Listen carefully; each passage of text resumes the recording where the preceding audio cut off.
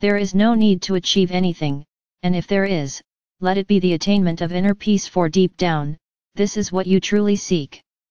You do not need to wander aimlessly through life, trying different paths or struggling with burdens all such efforts are ultimately in vain. Free yourself from these struggles, knowing they will dissolve with time, like dust in the wind. You do not live just one life, rather, you exist in an infinite stream of moments, which together form the tapestry of your dreams.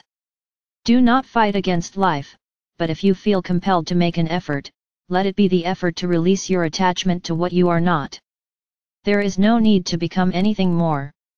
Instead, focus on shedding all that is not aligned with your true essence. Though many are here to assist you, the change can only come from within. View the world with the eyes of a child full of wonder, free from judgment.